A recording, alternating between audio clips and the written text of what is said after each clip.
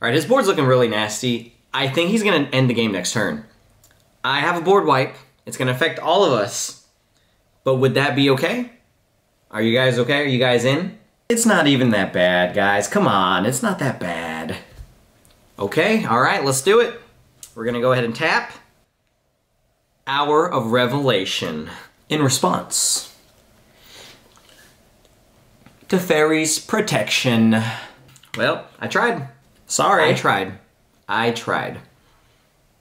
I'm just gonna tap and I'm gonna Boros Charm. Really? You too? Well, you know, alright. It's fine. It's fine. It's okay. Looks like looks like it's just us. I just I No. You too? Heroic intervention. You too? So only my stuff gets destroyed?